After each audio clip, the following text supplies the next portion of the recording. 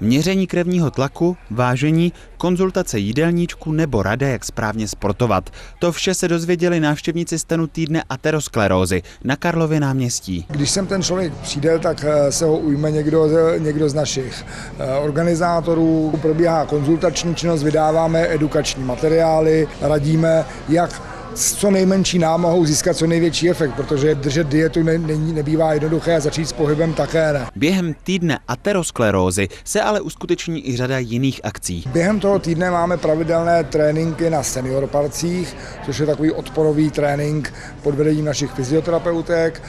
Třikrát nebo čtyřikrát v týdnu máme Nordic Walking po Praze, konzultace v rekondičním centru a vlastně týden končí sobotou dnem otevřených dveří. Ten se uskuteční v rekondičním centru Salmovská, kde na vás čeká řada ukázek cvičení a nejrůznějších zdravotních měření. Nejvyšší část populace právě umírá na tyto kardiovaskulární nemoci, které je právě způsobeno i, i tímto právě nezdravým životním stylem a tomu se snažíme jako Praha teda předcházet v rámci té zdravotní gramotnosti těmi preventivními programy.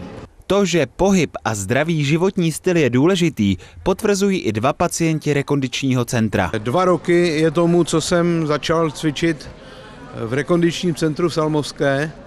Poté, co jsem teda nabral váhu až skoro s metrák, dospěl jsem závěru, že už je to moc. Takže jsem začal chodit do Salmovské a projevuje se to na mě, řekl bych tedy opravdu viditelně. Tím, že člověk eh, hodně sedí, eh, zároveň se z něj pomalučko ještě stává hypochondr.